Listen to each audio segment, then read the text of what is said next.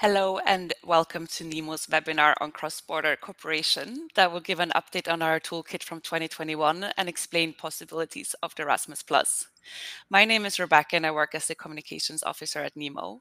And as the, Euro as the network of European museum organizations, our main activities include advocating for museums at EU level, providing training opportunities such as this webinar, providing a platform for museums to exchange and learn from each other, and helping museums to cooperate across borders. And in connection to that, we are very happy to have you with us here today from across Europe and the world as we present today's webinar, facilitated by Margherita Sani and Evelyn Kaindl-Ranzinger. And applying for EU funding can seem complicated and overwhelming, and we want to empower museums to fully benefit from the opportunities offered by EU programs. And therefore, we published uh, a toolkit a few years ago. And with that toolkit as a starting point, we will describe recent updates of programs such as Horizon Europe and Creative Europe. Margherita Sani is the author of the toolkit and an expert when it comes to the EU jungle. And Margherita will later be in dialogue with Evelyn Kaindl-Ranzinger, the senior officer at the Styrian Museums organization, MUSIS, in Austria, to understand how small institutions can benefit from different possibilities offered by Erasmus+. At the end of this webinar, uh, you will have the opportunity to ask questions in the Q&A round using the chat function. And now there, Margherita and Evelyn, the floor is yours. Thank you, Rebecca. And here we go. Um, good morning, everyone. Uh, thank you for joining us. Um, we will start, in fact, as Rebecca was saying, we start from here, from the Cross-Border Cooperation for Museums Toolkit which you can Google, which you can find online, which you can download, and I invite you to do so. It was produced, as Rebecca was mentioning, actually at the end, it was finalized at the end of 2020, published in early 2021. And it was a response from NEMO uh, to the problem which had been evident after uh, NEMO's research that only a few museums in Europe, not enough museums in Europe, are using European funds. So it was thought as a sort of like a support and encouragement uh, to museums to be more active uh, in that in that respect.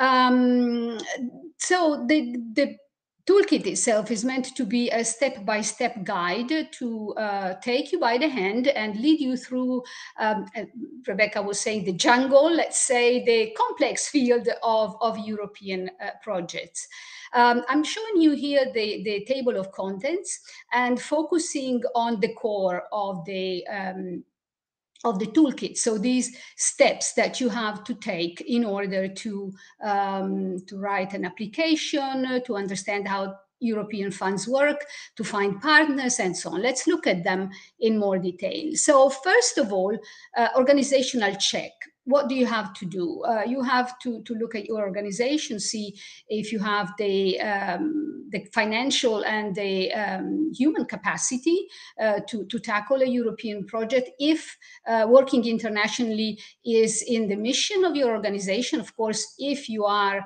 uh, if you're not the director, you have to check with your boss whether that would be, it would be interesting to, um, to take part or to lead a European project. So a bit bit of an organizational check of what you can or cannot do, or what is useful or not useful for your organization must be done. Uh, and also a check on whether you already have connections at European or international levels, if you're part of a network and so on. Because uh, being part of a network is the second must be. Um, being part or having a network of contact uh, this is because, of course, uh, a European project can only be done in partnership. The minimum required number of um, organizations for a European project, uh, the very minimum is three, three organizations from three different countries. And so it is important to have a network. And how do you build a network if you have none? Nemo, this is also, uh, this, this infographic is also in the toolkit. I mean, there are many ways of doing so. Um, and you can start easy by attending international conference, conferences and workshops or events, participating in study visits or studies exchanges. All these two opportunities are offered uh, by NEMO to NEMO members. Um, you can attend uh, events um, in another country. You can travel to another country. Um, and, and also, which is very useful, I think, start by being a, minor partner or an associate partner in an EU-funded project. That will give you first-hand um, experience on how uh, a European project works. And then, of course, uh, you um, you develop an idea, or an idea comes to mind, sort of like that, bright idea. Uh, but then, having an idea is not sufficient and we will go back to this in a second. It's not sufficient, uh, but when you have an idea, you also start looking for funds. And this is what we're getting into in a moment. What European funds are available for museum projects, for cultural heritage projects. Um, I was saying um, it is important to to look at the funding sources and to understand uh, what can be funded by European funds. Because this is, if anything of this webinar, please remember this, that Europe does not fund projects, but finances its policies through projects, which means that you might have the brightest idea, but if this idea does not match with European priorities, so with European policies, uh, you don't stand a chance to be funded because basically Europe uh, pursues its objectives. Um, its policies, and it is through these projects, uh, through the projected funds, that it, it, tries to achieve its aims. So your project must be uh, must be in line with the uh, with the European uh, priorities and uh, objectives. And so in fact developing a project idea having a, a, project idea is not sufficient but developing a project idea must as i was saying be in line with the organization's mission and objectives and this is very important because you cannot develop a project which is completely detached from your organization which i mean you feel that doesn't bring you anything because it is extra work it is extra effort. In terms of money it is the money is probably just enough to achieve the, acti the activities uh, or, or that the project um, uh, lists say in the in the application. So it really has to be useful also for your organization I mean, you have to go a bit out of your way. It cannot be something that it is only useful for your organization. Otherwise, there would be no reason for uh, embarking on a European in a, in a European project but it has to sort of i always say uh, you have to keep a balance a balance between what is useful for you what is useful for your partners and what is important for the eu uh, a good project uh, stems from an analysis of needs and an analysis of the context because you really have to explain it also in the application why you decided to embark on this project. Um, it has to resonate with interests and priorities of peer organizations in other countries. So it has to, um, in, in a way, be in line with your own organization, uh, but also with uh, the, the, the, aims and objectives of um, the, the partners. Otherwise, they don't see a reason for joining you in the partnership. It has uh, to be in line with the priorities of the funding program, as I was saying. It has to have an international value. One of the typical questions in the uh, EU application is, uh, what is the European added value? And this is simply so because there are many ways of funding a project. And, and maybe before uh, turning to European funds, you should look at whether your project uh, is, is uh, whether it's possible to fund your project at a local level, at national level. But if you decide to go for European funds, then you have to show and to give evidence of the fact that this idea is important for Europe at European level and also very difficult to achieve normally. Uh, the project should be sustainable after the completion, after the end of the funding period. And this is again a typical question. What's going to happen to the project after the EU funding ends? And it is important to think already ahead of how you want to keep it alive. Uh, the toolkit is providing you with lots of uh, ideas uh, on how to do this, uh, on how to study the context, um, on how to identify the target groups and the other stakeholders, on how to identify the potential partners, and also how to uh, detail the project, on how to detail it into project activities, into outputs, also called deliverables, because the other thing you, you have to learn is that uh, there is a jargon, there is a, an EU jargon, uh, which is important to get familiar with. Um, and, and also uh, drafting uh, along with a, with a work plan, drafting a, a risk management plan. What risks will this project present and which mitigation measures can be imagined? Um, this is a visual uh, uh, help to see how the project uh, normally unfolds. You have to um, think of activities, think of outcomes, of times, and all of these can vary uh, sub-activities, and all of this has to be costed, of course, and this can also be visualized with a Gantt chart, this bar, bar chart that shows how the project unfolds over time.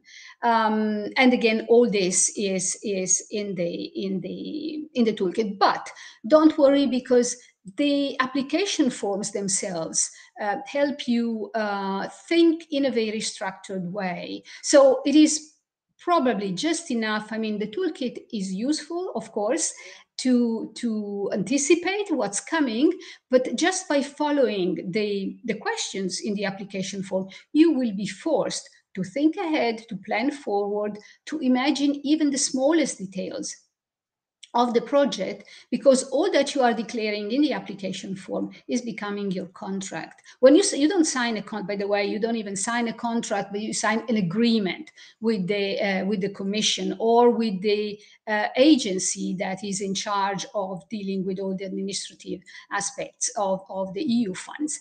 Uh, but what you so what you write is binding. So you better think ahead and, and think in depth of what you want to achieve and how you want to achieve it and how much money you need for that. So the project idea is described in terms of ob objectives, of beneficiaries and target groups, of activities, well detailed, well cost, mm, costed, um, outputs, which are the deliverables, so the, the products, the short-term products, or outcomes, which are the long-term uh, products. Uh, to give you an example, an output in a project could be uh, you within your project you are uh, delivering a training course, and that's the output. The training course itself, it's an output. The outcomes is to provide uh, the beneficiaries of those um, training of that training with skills that will be useful for them in the long run, in the medium long run. Of course, you have to think of the partners and and of the budget. So all this is in the project idea. Um, and then you write the application. And again, here in the toolkit, there are lots of tips to, to, to, to do so. Uh, but, um, and, and so far for the toolkit, I mean, you will find it all there. Uh, you will also find at the end of it uh, a glossary. So terms that we just uh, you know, encountered briefly during this conversation already, like uh, um, like the Gantt chart, like the milestones, like uh, um, outputs, outcomes, deliverables, they, they are all there. So the objective this morning is that of not only recapping uh, what is in the uh, what is in the toolkit, but um, having a, a, quick look of what is new, of some of the new features of the uh, of the new funding period. As you know, Europe, um, every seven years, there is a new funding period, so new programs with sometimes uh, new features and and new priorities. So when the toolkit was was um, finalized at the end of 2020, some of these uh, programs, most of them, were not there because the new funding program that we are in is 2021-2027. So uh, it was not possible to include um, these new aspects in, in the toolkit. So what is new? Well, first of all, uh, some new resources are there to help you. And this is for me, the most important entry point to European funding, the funding and tender portal. Uh, and this is, as you see, and I'm showing you better here, you have a list of all the programs available. You click on them and you're sent to the web page of that program with all the details. Uh, you can also um, look um, at which calls are open. So the search uh, funding and tenders functionality is also very useful. You can, uh, you know, uh, see if there is an open call for Creative Europe or Erasmus Plus or any other of the uh, of the programs that are listed.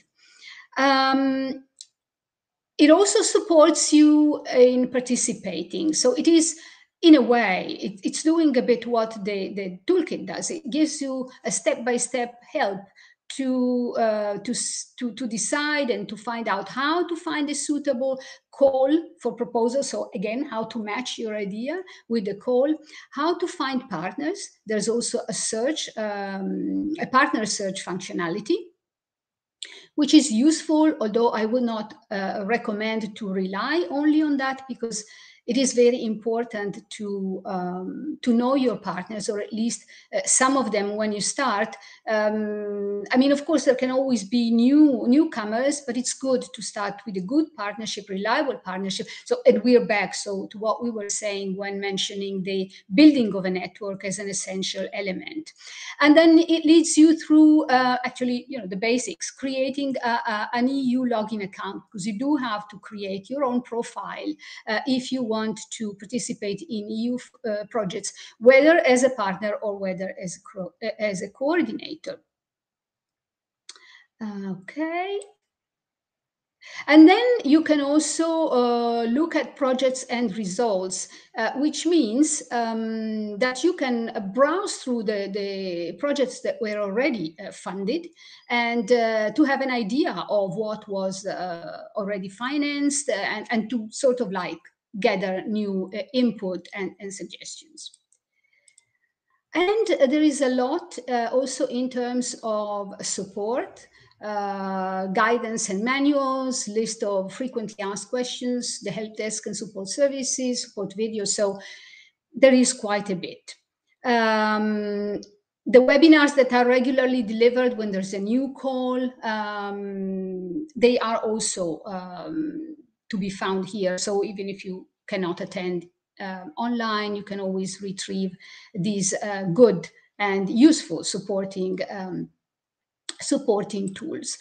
Uh, another important resource that was not there before is this Cultural EU funding guide. We will go back to it in a moment. I'm just browsing the website with you for a second uh, to show you what is there. We were saying it is important to be familiar with European policies because you have to uh, be in line. Your project has to be in line with European uh, priorities and policies. So here, when you click on the policies tab, it opens up all this, um, say, list of uh, relevant uh, documents that you can um, access and that you uh, that help you become more familiar with uh, with European uh, policies. Or um, if you want to look at um, cultural heritage, if you're interested in, in, in cultural heritage, how it is uh, considered in in European policies, here you have this this other tab.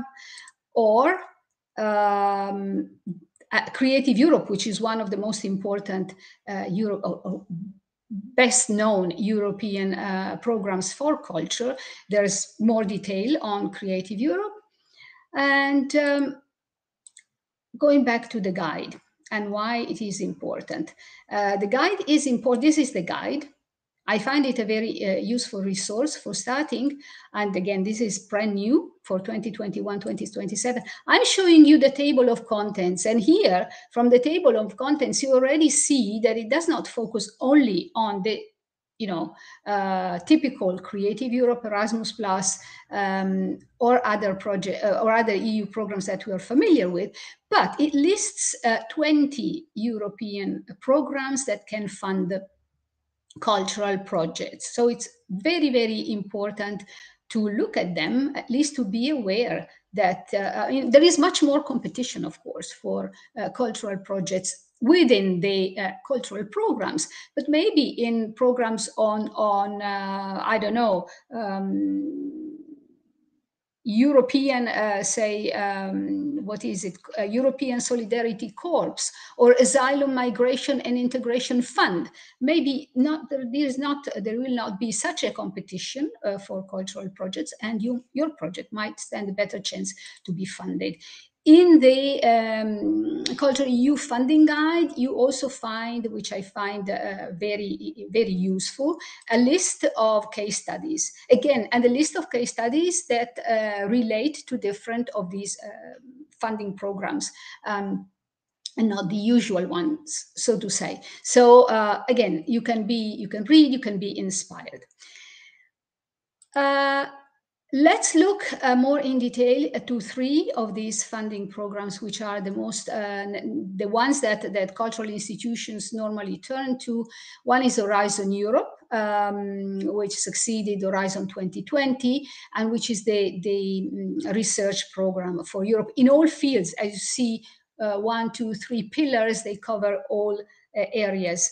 Uh, and, and for the first time uh, in 2021, so in the funding period 2021-2027, more prominence was given to cultural creativity and inclusive society. So there are you know more opportunities uh, for uh, cultural pro uh, projects to be funded here i'm just um, showing you and i know it's a bit blurry the list of, um, of, of, calls that are contained into the Horizon Europe uh, Work Program 2023-2024 under the strand Culture, Creativity and Inclusive Society.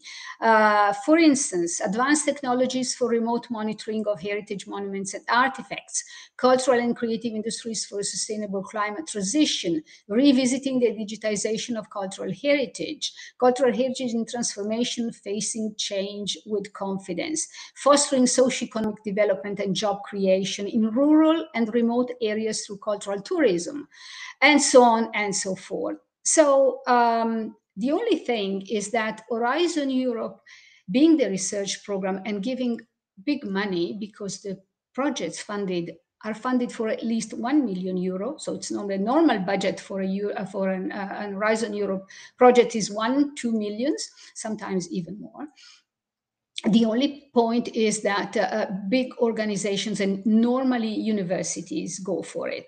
So you might find your place here um, as a small organization or uh, as a partner if you are um, if you're asked to, to, to, to, take part. I would say um, as a museum, maybe if you are a large museum or a large research organization, you could lead lead an Horizon Europe uh, project. But otherwise, it's better to find your place as a small uh, as a small partner within these partnerships.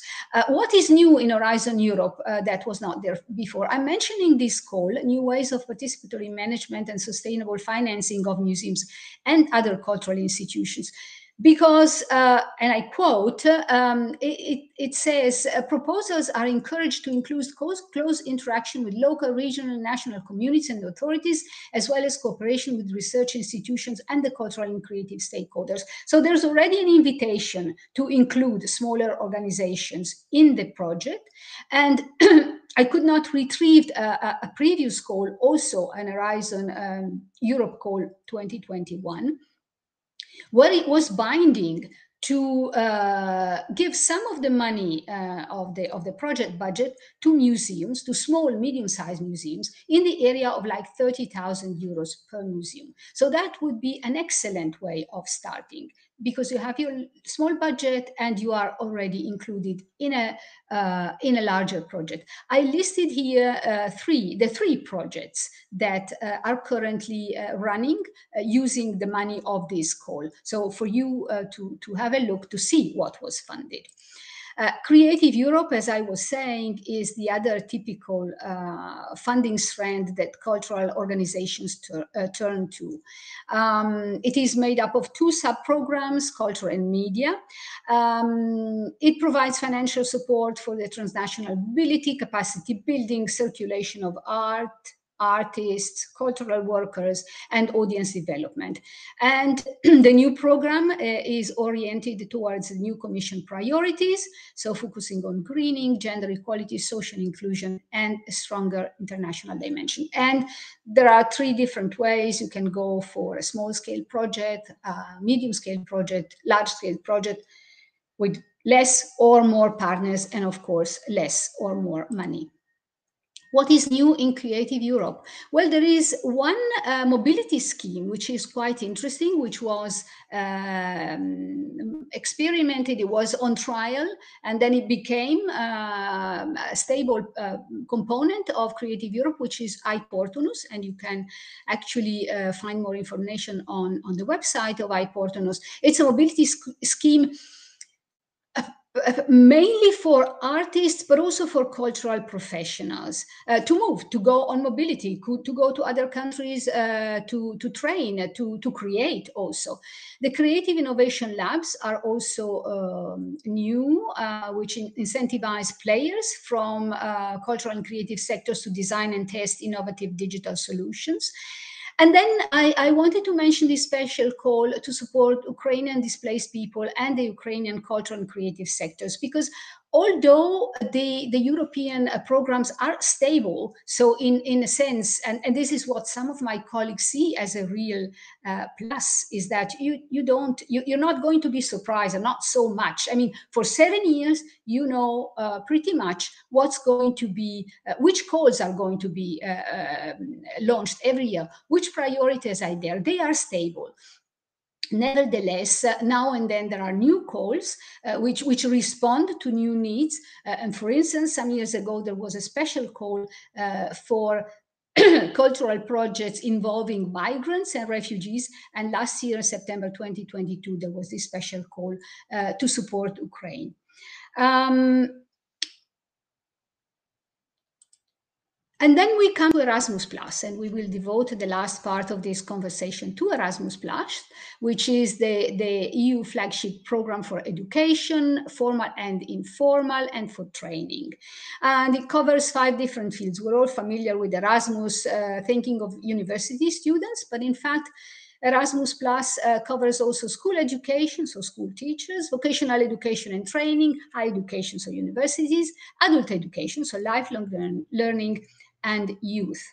Um, and uh, there are three main actions uh, in Erasmus Plus. Um, key activity one uh, focuses on mobility projects. I mean, we're going to go deep into this. Huh? Uh, so funds are given to go uh, abroad to, to uh, take part in courses and training, to do job shadowing. key activity two um, places emphasis on organizational cooperation and partnership. So you will find a cooperation uh, projects funded by Key Activity 2, strategic partnerships. Also sector skills alliances, which are transnational projects aimed at identifying skill gaps in a specific sector and designing and delivering training programs to rectify the situation. And then key three, uh, activity three, uh, to support policy cooperation at European level. Uh, I, I, mentioned, and I will stop on this for a second, um, the Charter project, because NEMO is a partner in it. This is a Sector Skills Alliance.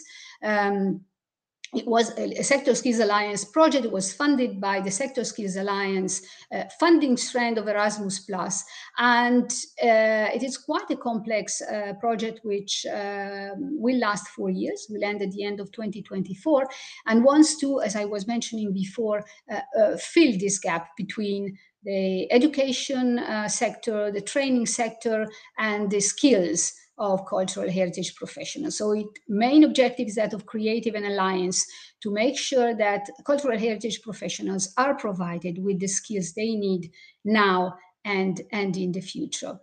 Uh, but we want to make it simple or simpler, especially for those uh, who are just now starting to get interested in, uh, in uh, European projects. And so um, we want to mention the uh, small scale and the projects that are funded, the cooperation projects that are funded uh, by national agencies, because until I think the previous, or maybe the, the also the, the, the pre-previous uh, funding program, uh, all Erasmus Plus uh, projects were funded um, at a European level. So they were, so to say, centralized actions. All application, applications were, uh, will go to Brussels.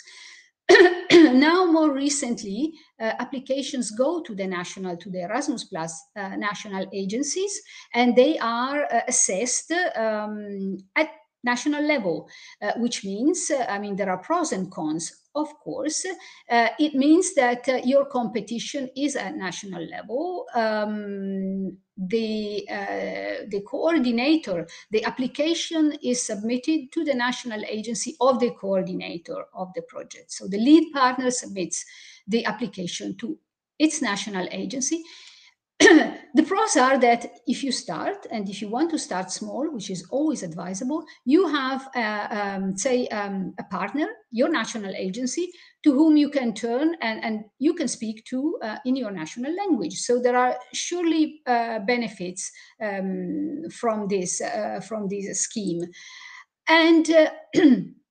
So now we we want to uh, with the help of evelyn who's very experienced in, the, in this and, and she's very active in in programs in erasmus uh, plus uh, programs that are brand new so she's uh, she has a lot of knowledge.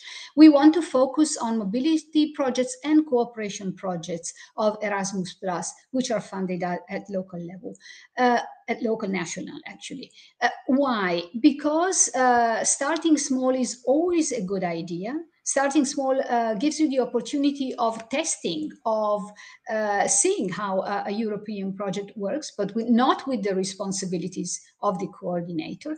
In Erasmus Plus uh, projects and programs, there are always learning components. So the learning component is good when you start, and you go on mobility, or you can build mobility into your project, which is for me an excellent way of learning from peers. So I stop here and I give the floor uh, to Evelyn, who will lead us through these uh, new functionalities and opportunities offered, uh, especially to small organizations or medium-sized organizations by the Erasmus uh, Plus program. Eleni, Evelyn, the floor is yours. Thank you very much, Margherita. I hope everyone can hear me well. Um, I will do it very short and, and concise, hopefully, before we two start to talk a little bit about uh, what we do in my organization. Uh, and please allow me a, a, very personal view on this, uh, which comes from my personal engagement for many years in European networking. Um, I will, what I will talk about is, Margherita mentioned this, uh, the most access accessible branch of the Erasmus Plus project tree, it's the key action one called Personal Mobility for Learners and Staff in Adult Education. Um, we we uh, uh, see ourselves in the museums as part of lifelong learning and adult education. And it, it was, to be honest, quite new when we started with our projects um, for the National Agency to work with a museum overhead organization and with mu museums uh, in general. um, this is one of these very many branches of Erasmus Plus, and in my opinion, it's in fact uh, the best way to start to learn how things can work when you make EU projects, when you are part of an EU project, because it's it's it's quite simple and easy to understand if you if you uh, are a little bit deeper inside. Well, first of all, I will do my personal organizational check as you should do it at the beginning of a project, showing you who is behind uh, uh, this, what, what, I'm talking about. Then uh, let me give you a picture of what my organization reached within the last eight years working with Erasmus Plus. Uh, and finally, um, also already within in, in conversation with Margherita, I will give you a short insight of the experiences of how we how we make it, um, how we organize it, who, with whom we work together. And we do it very, very practically.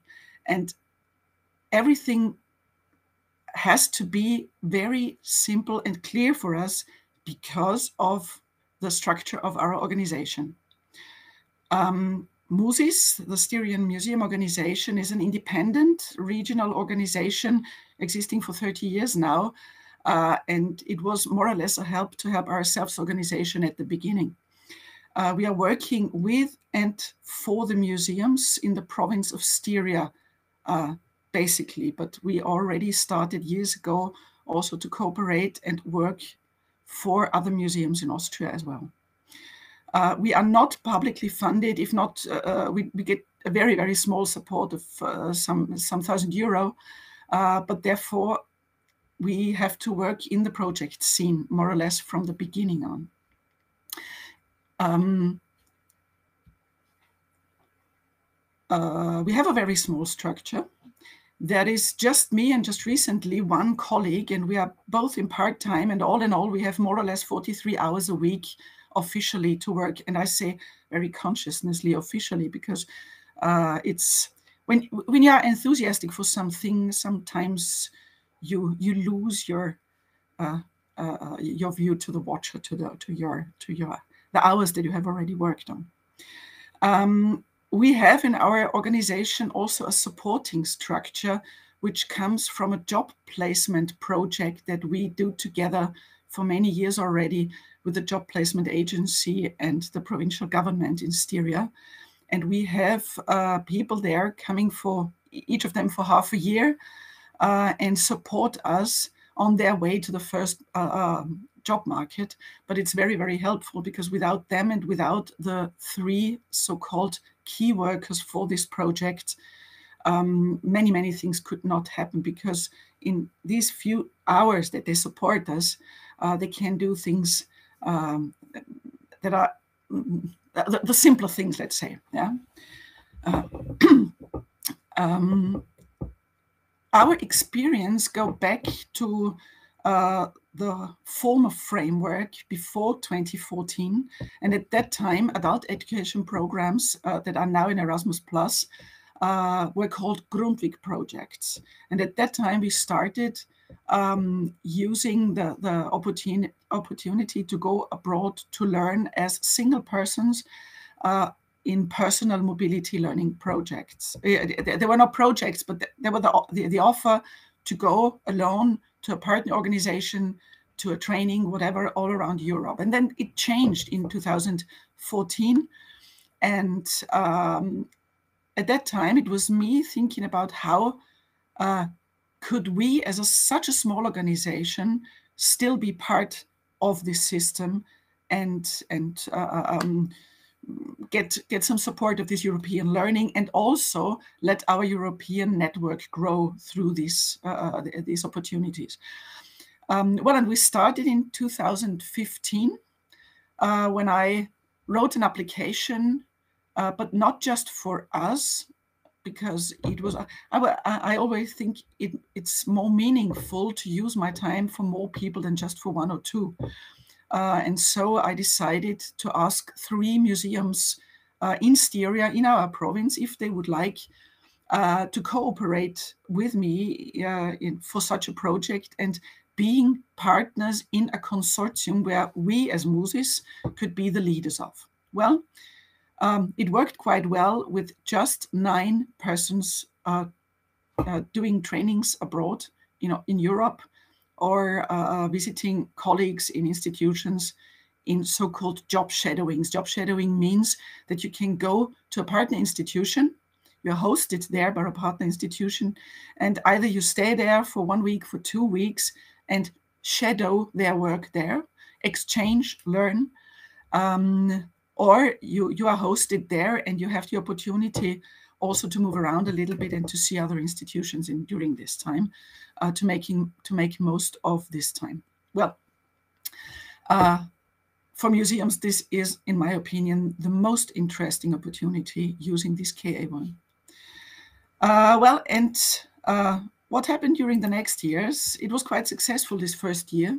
In the second year, uh, we had already five consortium partners, and then Austrian museums asked me when I presented this project in an Austrian museum conference if it would be possible for them also to take part because they don't have the structure and enough um, stuff also to apply for such a project. I am convinced it would be possible, but nevertheless, it, it, it had an added value for us to say, yes, we try this because it made for us and also for all the other participants in this network project um, to, to create a new um, European minded network in the museum scene in Austria. And uh, step by step, from year to year between 2016 and the application in 2020, um, we grew. And all in all, in these years, uh, we reached 32 different consortiums partners in Austria. So some of them um, are already for the fourth or uh, fifth time as a partner in the project. And more than 200 educators, mediators, curators, but also trainers or advisors uh, with uh, from little, uh, little um, uh, independent companies. So we included whoever was interested in as an institution and also uh, always looking at who could be inter- interesting for this, this uh, European minded network in Austria. Uh, well, this project 2020, I don't have to mention it, really was more than a challenge uh, because uh, it was it, it should last for 15 months. It lasts nearly three years but it was one of the most successful. And just yesterday, we got the message that it's one of the, the few best practice examples in Austrian adult education, Erasmus Plus, uh, KA1, because of the structure, because of how we uh, run it and how we solve the problems that we're in. And we were really just two of us uh, to organize all this during these three years.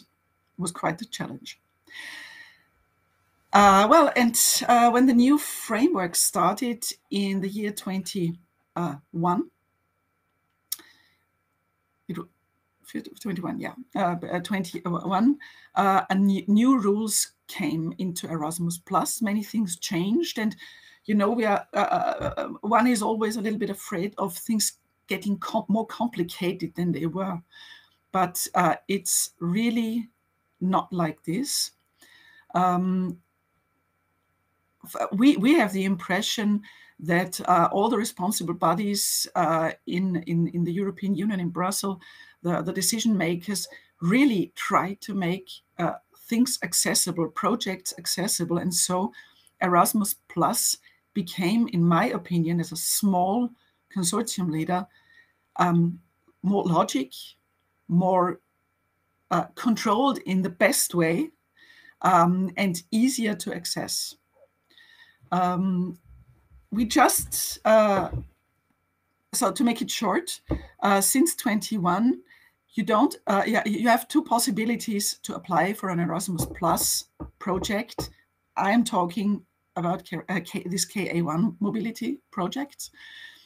Either you apply as a new new coming uh, institution, trying it for the first or second time, applying for a small scale project up to 35 mobilities. And you can just do this for your own organization, not as a consortium. The other possibility, and this is what we did and what we do, is to apply for a so called accreditation. It means um, that you apply for three, four, or five years uh, for one main concept one idea behind um, and more or less three goals that you want um, to reach after having run uh, the number of projects that are in these application years.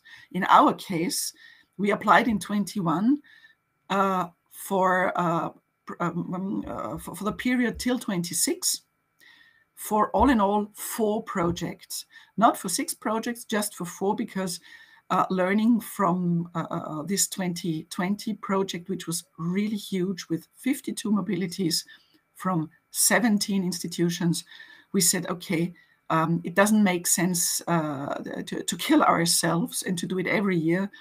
We do it in a proper way, we do it well, four projects in six years. Um, the big difference is that you just have to write one big application. You just have to find one um, uh, uh, uh, one good concept and good goals that you want to reach. And then every other year, uh, when you start with your projects, you just have to apply for the money that you will get. You just tell uh, um, via a, a form in the web. This year we do 30 mobilities. And um, when we started, it was uh, we, we, had to to apply very detailed. We we had to tell them how many people from which organization in the consortium will be part of.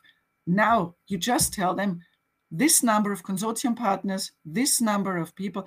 You don't have to tell where you really want to go, how long you want to go, uh, uh just how long you want to go.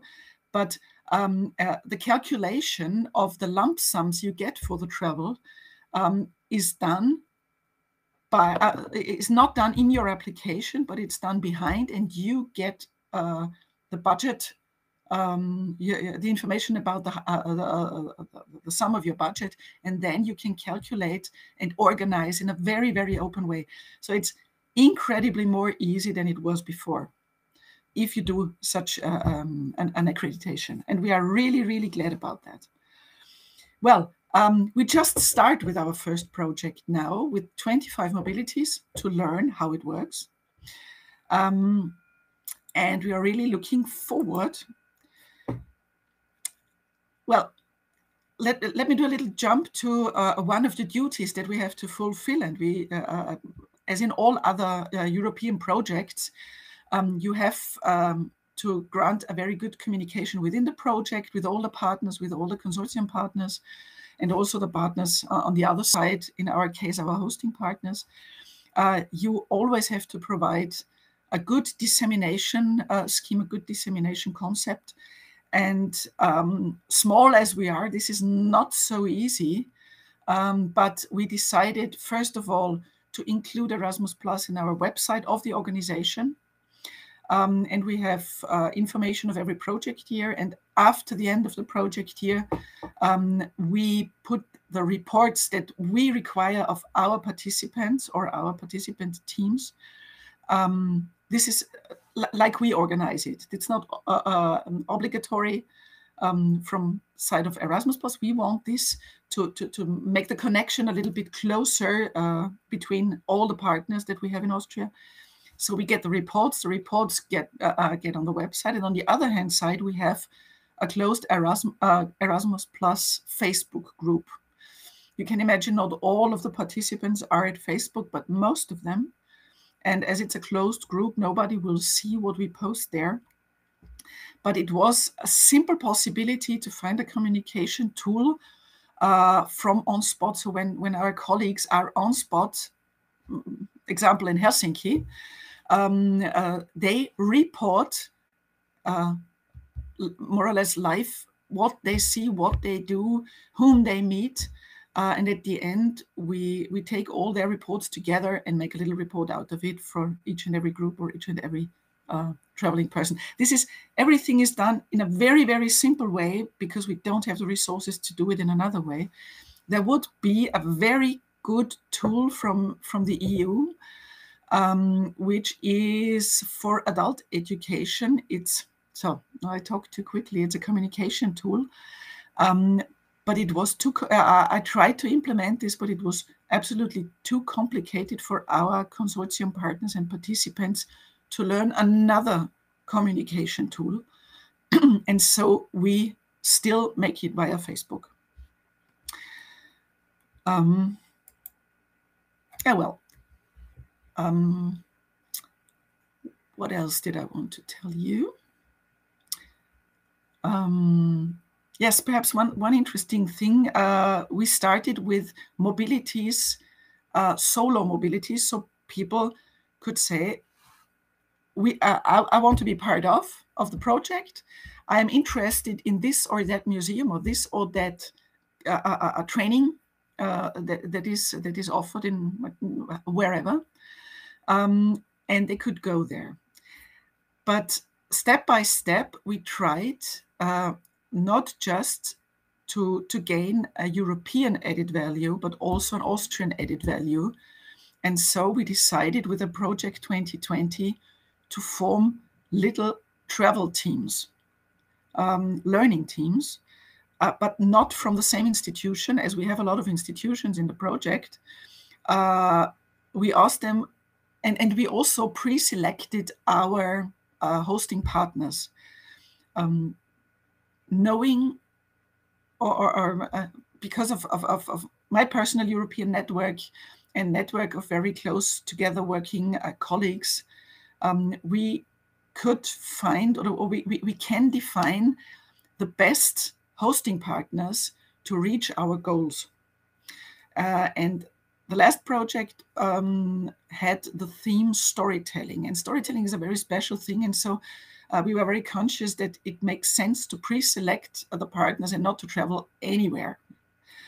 Um, and we formed little groups together from museums that have not yet worked together up to now.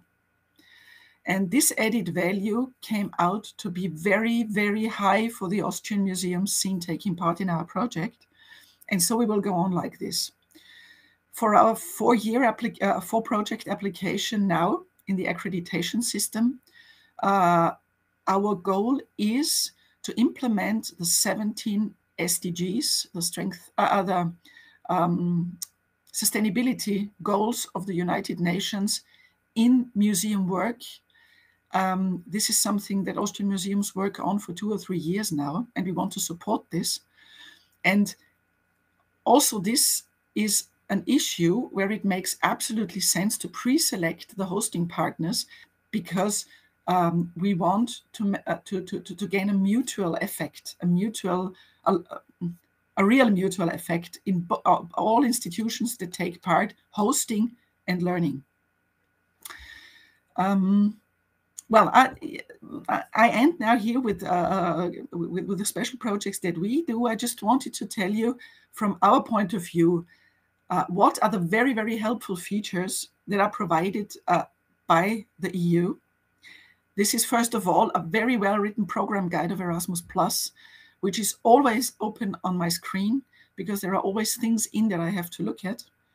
Um, you find, before all, you find the priorities Margherita already mentioned. And um, well, telling you some uh, some words about uh, these priorities.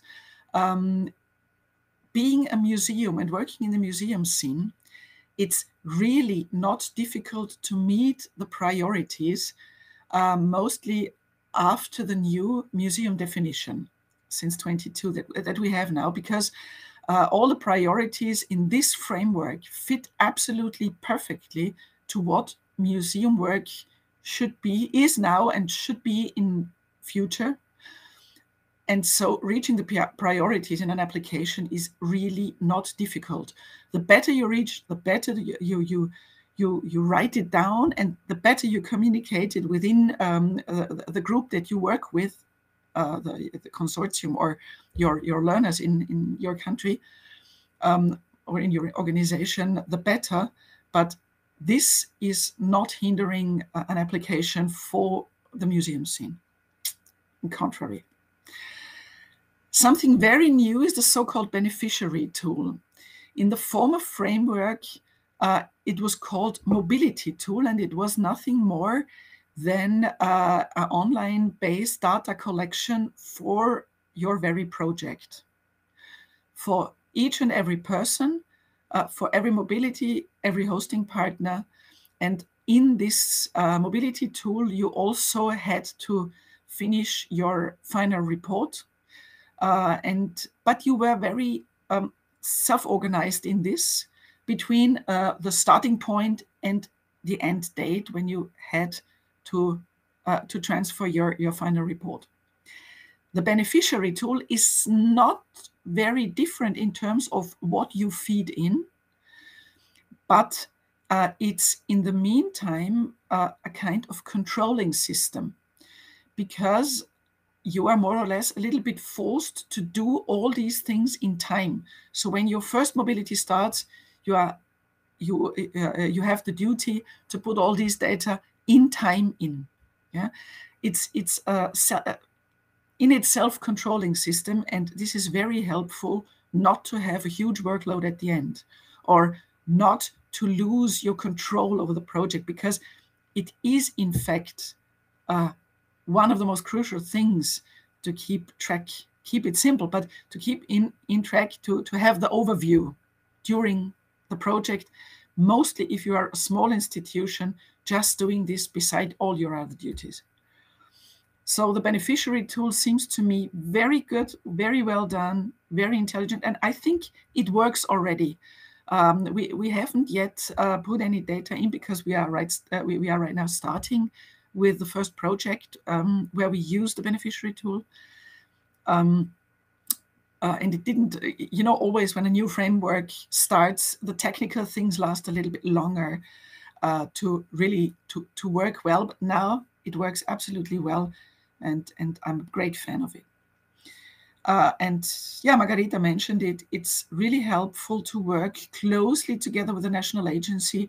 And in terms of Austria, I just can say they are the most helpful people uh, in any question. And they had a lot of difficult questions to answer and challenges to solve with us together during the corona, the, the pandemic period, uh, because many, many things came differently as they were planned.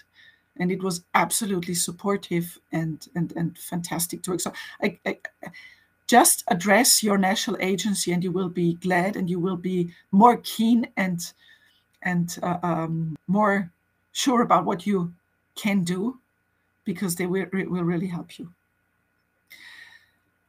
Perhaps I will stop here, Margherita, and we can start to talk a little bit yes. about all the other things.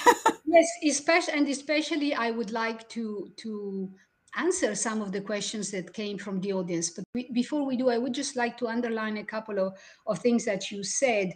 Um, and you not now, but but when we chatted to prepare this webinar. You also mentioned that uh, through mobility, it is possible to invite experts to come to you. So yeah. you're not only sending out people. So there is a lot that the term mobility covers. You can go on preparatory visits. You can invite experts to come to your organization. You can send your own staff.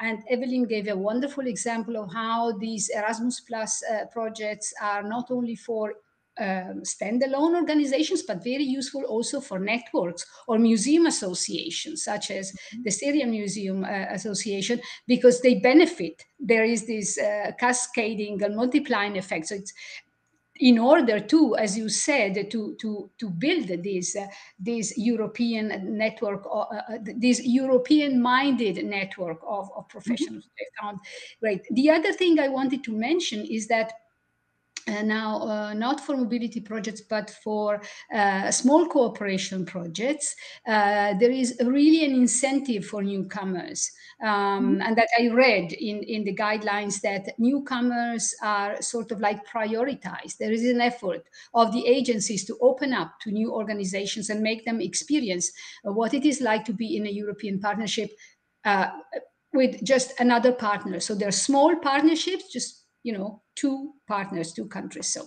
i stop here but uh, uh, uh, I'm, I'm asking the uh, the colleagues uh, who support us for this webinar whether um, whether there are questions that we cannot uh, avoid. So very urgent questions. I mean myself i'm, I'm ready to stay for for any question. Um, okay Hello. Uh, thank you, Evelyn and Margherita, for this very insightful presentation. And uh, I have asked in the chat for people to, to write their questions. So while they are typing, which I can see that someone is doing, then I would just like to thank you again. And maybe I can ask a question in the meantime, uh, Margherita, about the if, if an organization would like to get involved in a bigger project, you did suggest that first get involved as an associate partner or a minor uh, partner as one of the suggestions. And how could and how could someone find those kinds of opportunities? Um, well, I mean, uh, there is the partner search. I mean, there is also the possibility of writing up your wish list, so to say. I'm an organization of this kind. I would like to participate. That's however not maybe not so fruitful. It, it's it's difficult. I think it all comes with um, being involved in conversations with colleagues um, and and finding out which are the the topics of common interest. And and so it takes it takes time. I mean in the in the toolkit we have also testimonials of of people. I'm, I'm thinking of the maritime of a maritime museum which is very active in uh, projects with other maritime uh, museums in europe. And he says it took him about 10 years to really build this network. I wouldn't say 10, but you know, a few years at least. So, and associate partnership is not very, uh, I mean, it's it's not so convenient in the sense that you don't receive money, but you don't do anything. You don't have to do anything, but you don't receive money. So I would rather go for a minor uh, part in a larger project. Like in one of my projects, in the project, one of the projects I coordinated years ago, we had one partner who said, We're just interested in taking part. So we just want the budget to travel and to come to partner meetings. That is all. And other partners had, had many more responsibilities, much more money. So that is also why that can always be negotiated. So that's Very my good. answer. Yeah. Well, it looks like we have a question here that I will read out for you. So thank you very much for all this information. It's very interesting and helpful. You said in order to apply and start a project, it is important to have a concept, an idea behind it, and three goals. Could you please give an example to understand this better? Could it be a project on children's education or specific topic for a museum, for example? Thank you very much. So, shall I answer? Uh, yeah, start oh, you. Please, I, I, I start. Okay of course it can be on on children's education. It can be on on anything. Now um, the, the the idea is that everything should be very clear in your head what you want to achieve and why and and and, and very clearly expressed for the evaluators who will read your application. This in very general terms uh, and of course, I'm available to continue this conversation also outside the webinar with maybe with exam- with concrete examples of um, of applications that were that were uh, written and, and funded. But Evelyn, you wanted to say something. Yeah, well, in, in terms of Erasmus Plus, they have different branches. So adult education means really learning for adult people. But there are also other branches. There is youth, uh, um, there is there is a pupil, and sometimes um, uh, you can also work together with uh, not museum institutions for such an application. However, you just have to take a close look to what branch you are in and what is is is, is the name of the program to fit in. So uh, so children's education just fits into uh, a program where also children's education is involved. Yes, yeah, yeah, and and I can remember. I mean, uh, um, the um, hands-on, uh, the uh, International Organization of Children uh, Museums is the lead partner of. Uh, I'm, I'm, now thinking of a Creative Europe uh, project. So just moving away because indeed Erasmus Plus is for the for the the strand that we have been discussing is concerned more with adult education. So you have to bend your, but for children's education, you can uh, probably turn to other uh, mm-hmm. funding uh, sources, and, and Creative Europe is one. And I'm very aware of these recent project where hands-on, which is, as I said, the Association International Association of Children's Museums is the, the is the lead partner. So. Yeah, thank you. I hope that answers your question. And um, since I see someone is still typing, I could ask maybe Evelyn because oh.